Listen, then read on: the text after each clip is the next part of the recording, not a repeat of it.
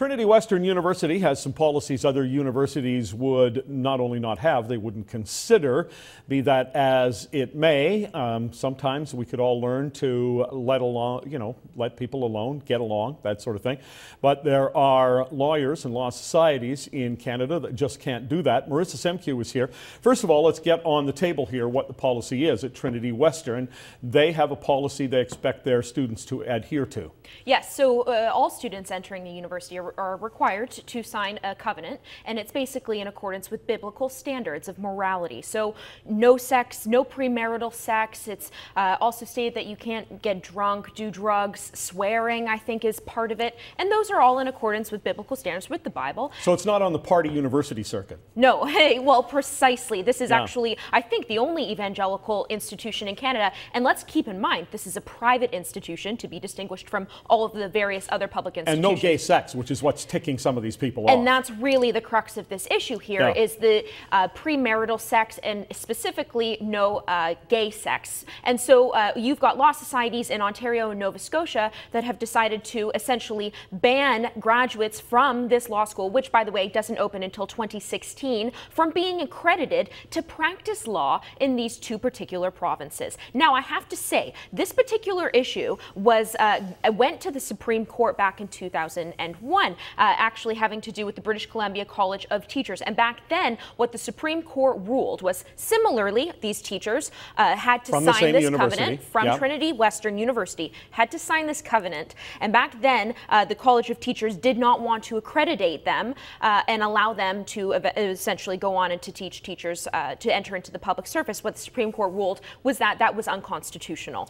Well, the Supreme Court ruled, as I remember, that there was no indication, especially ahead of time when a person hadn't even started teaching yet, that there was any damage they would cause in the classroom. It would be the same with the lawyers. Well, it is incredible to suggest that someone who hasn't even joined a law school yet would not be fit to be a lawyer in Ontario or Nova Scotia. Well, exactly. And all you have to do is look south of the border, Jerry, to see that there are evangelical institutions that have produced lawyers, and there are plenty of them in the United States Pepperdine, Liberty that produce these lawyers, and they've actually coexisted with some of these secular institutions' lawyers too. So that hasn't been a problem in the United States. Also, another point worth mentioning is the fact that any of those graduates coming from Pepperdine or Liberty University, these are evangelical institutions, their, or their students required to sign very similar covenants. All they have to do is cross the border, sign the Ontario bar, and they're allowed to practice. So why are the law societies in Ontario and in Nova Scotia discriminating against graduates from Trinity Western, but not anywhere in the United States. Well, right. I mean, uh, if the school is teaching law, if, they, if you can prove they're not teaching law effectively, if you can prove that, in fact, they're turning out lawyers who don't understand the law or are thwarting the law,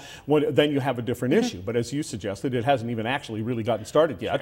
Uh, I understand one of the things they're going to do at their law school is encourage their students, once they graduate, to do what a lot of young people with a law degree in hand won't do, and that's to go to smaller communities in rural areas and serve those communities that need lawyers instead of saying, I'm going to go to the big city and party at night. Exactly. Uh, and, and maybe these these would be the people who would actually do that. That's a that's a service to the country. It's clear the only people being discriminated against in this situation are the graduates of Trinity Western. In the spirit of uh, uh, uh, uh diversity, you know, this is this is this doctrine that liberals really like to cling on to. The only people they're discriminating against are Christians, and that shouldn't be allowed. Well, that's why I said we have bigoted lawyers. Now, it was a vote of 28 to 21, so good for the 21 who voted uh, that these graduates should be admitted in in Ontario, but 28 of them, uh, basically, there is nothing other than an anti religious bigotry here, I think. And by the way, you don't have to agree with Trinity Western University's policies. That's not the issue here.